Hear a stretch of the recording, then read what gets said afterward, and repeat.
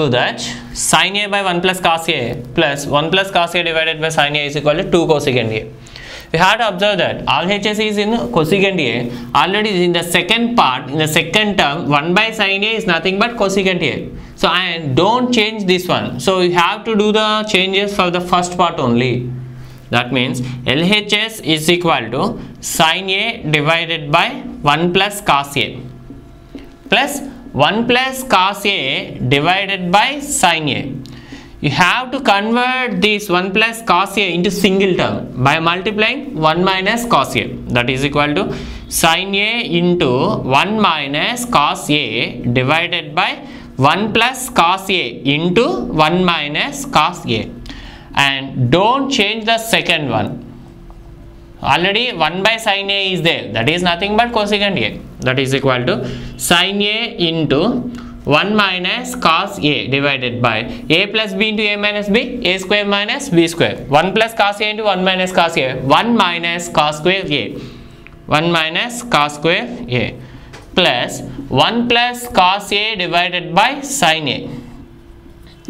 Now 1 minus cos square a is nothing but sin square a from the trigonometric first identity. Sin a into 1 minus cos a divided by the value is sin square a plus 1 plus cos a divided by sin a. And here one sin a sin a will go. That is equal to 1 minus cos a divided by sin a plus 1 plus cos a divided by sin a in both the terms sin a is the common denominator. You can write directly that is sin a. That is numerators. 1 minus cos a plus 1 plus cos a. Minus cos a plus cos a will go. 1 plus 1 2 that is equal to 2 divided by sin a. 1 by sin a is nothing but cosecant a. That means 2 into cosecant a. That equal to RHS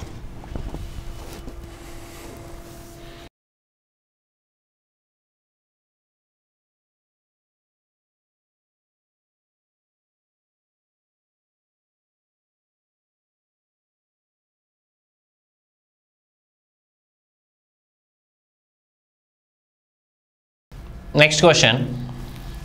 If sine theta plus sine square theta is equal to 1, then prove that cos square theta plus cos, for, cos power 4 theta is equal to 1. First, given that what he gave sine theta plus sine square theta is equal to 1 implies sine theta is equal to 1 minus sine square theta.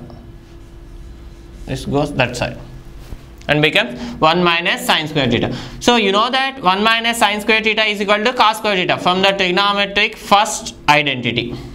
So this is. Now LHS is equal to cos square theta plus cos power 4 theta.